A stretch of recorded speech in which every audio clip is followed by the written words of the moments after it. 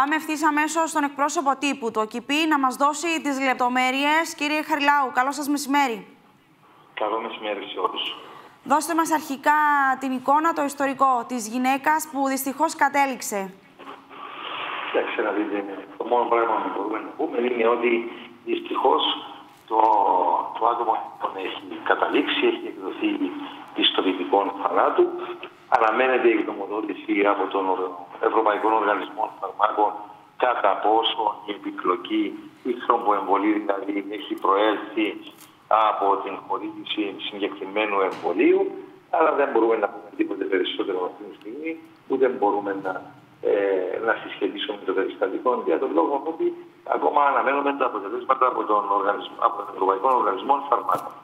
Όταν και εφόσον έχουμε ε, το πόρισμα, τότε θα μπορούμε να τα πούμε κάτι περισσότερο.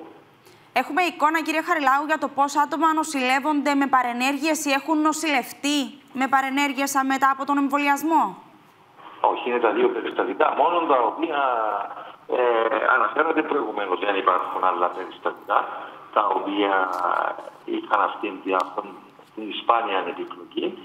Ε, και δεν νομίζω να υπάρχουν και άλλα περιστατικά παγκύπρια. Όσο μάλλον να, να νοσηλευτούν. Όσον αφορά... μόνο περιστατικά. Όσον αφορά την κατάσταση της υγείας της 40χρονη, μπορούμε να πούμε κάτι περισσότερο; Κοιτάξτε, σύμφωνα με τους θεράποντε γιατρού, η κατάσταση της υγείας τη είναι καλή. Ε, Ευτυχώς έχει ανευθυνευτεί έγκαιρα, έχει ξεκινήσει η ενδεδειγμένη θεραπεία και η, η γενική της κατάσταση είναι καλή.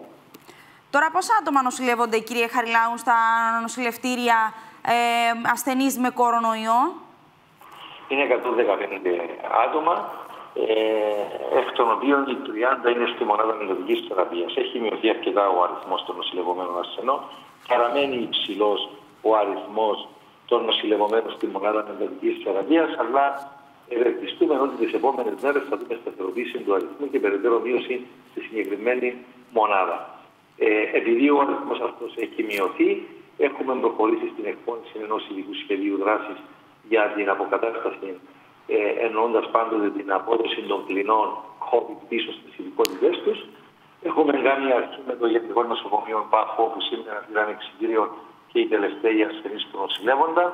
Γίνεται η σχετική απολύμανση και αμέσως μετά οι κλίνε αυτές θα είναι στη διάθεση της ορθοπαιδικής και της παθολογικής κλινικής για να μπορέσουν να τις χρησιμοποιήσουν ε, για άλλους ασθενείς. Ε, συνεχίζουμε με τη Λάρνακα όπου έχουμε να δρανοποιήσει τον έναν εκ των δύο θαλάμων. Είναι λίγος ο αριθμός των ασθενών που νοσηλεύονται εκεί. Ελπίζουμε ότι και στη Λάρνακα αυτή τη βδομάδα ε, θα ε, επιστρέψουμε πίσω τις κλίνες στην ορθοπαιδική και στην χειρουργική, ε, ούτως ώστε να διατεθούν για, για τους υπόλοιπους άλλους ασθενείς και το ίδιο θα πράξουμε και για τα υπόλοιπα άλλα νοσοκομεία εκεί και όπου χρειάζεται. Μάλιστα. Κύριε Χαριλάου, ευχαριστώ πολύ. Καλό υπόλοιπο. Καλά, καλά.